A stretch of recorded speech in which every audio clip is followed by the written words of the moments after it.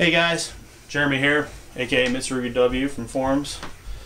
Here to do a video for you on how to discharge a monitor so that you can work on the monitor chassis.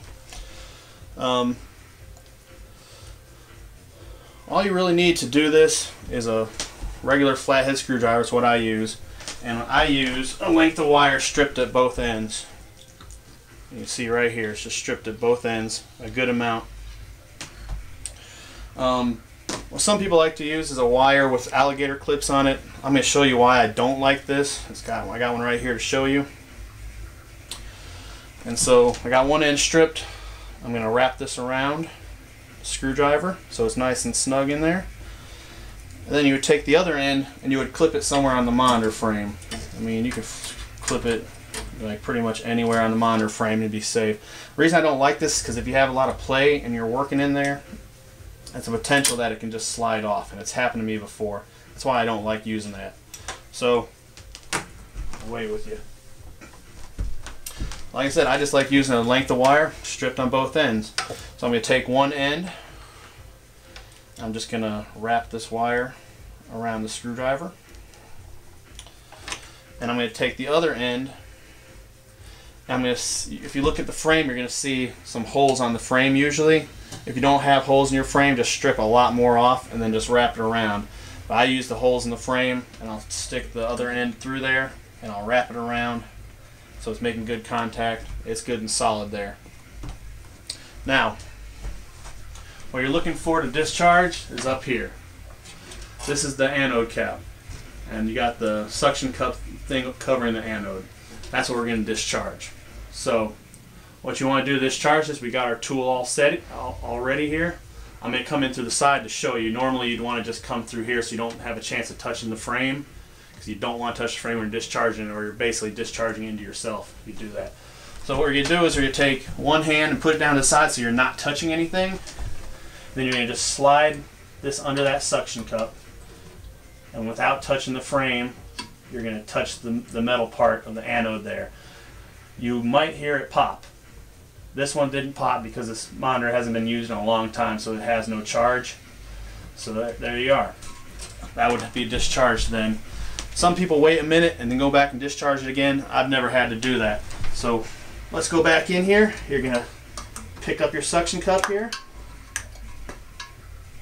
If you look under there, you'll be able to see the two pins that are holding the, the, the anode into there, into the back of the monitor just kind of slide one of the pins over and it'll pop out and then you can just slide the other one out.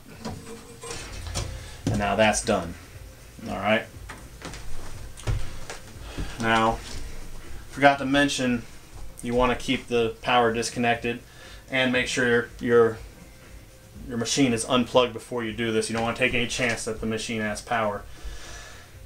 Alright, so that's done. Next thing we're going to do is we're going to go ahead and uh, take this monitor chassis out. So, we can disconnect all the wires that are going to it still. I've already disconnected my uh, remote board, which is underneath the control panel, so I don't have to worry about that. We got our video connector on this side. Disconnected that. This has your red, green, blue video ground and your sync in there. Um, we can slowly disconnect this neck board, just wiggle it back and forth and it'll pop off.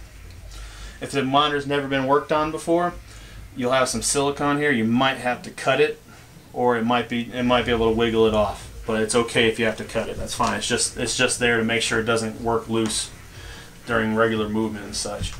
Um, these are also going to have a dag wire that goes from the ground strap around the monitor to the neck board. This one's already been cut before, so I have a wire cap on here. I can just disconnect that and the dag wire is disconnected.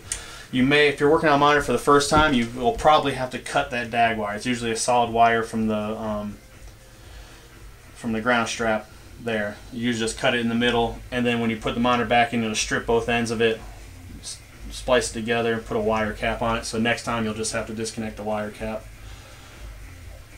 So also, we can go ahead and, and remove the screws that are holding this down. Now, every monitor manufacturer, every model, model monitor is mounted slightly different.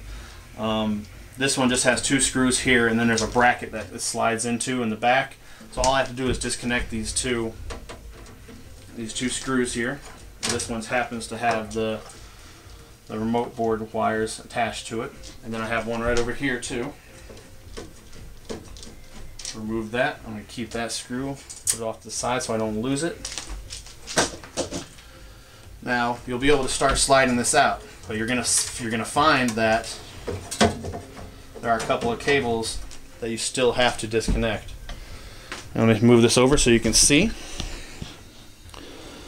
All right, I'll try to zoom in a little bit so you can see that. So right here, this is the connector to the degauss cable that's built into the monitor. You'll have to disconnect that. It's a two pin connector. So just work it back and forth a little bit and it disconnects. Now you can't plug that in backwards when you put it back in, so don't worry about potentially plugging it backwards when you put the chassis back in. So also have, I'll zoom back out to show you this better, these wires here that are connected to the tube. This is your yoke. It's connected to the yoke up here. These are your yoke wires and there's a connector on the board which is going to be real hard for me to show you until I disconnect it on the back here. It's going to be in different positions depending on the monitor, but it's going to be a four pin connector. And so I'm just going to wiggle this loose. I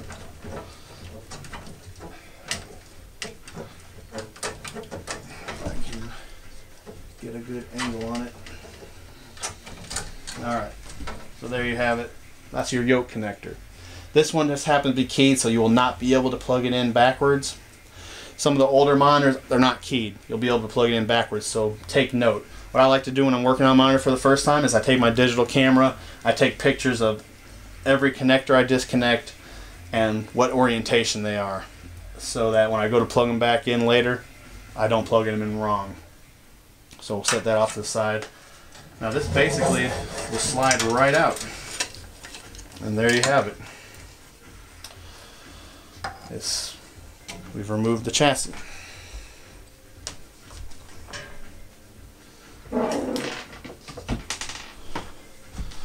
Now, like I said, that's all there is to it.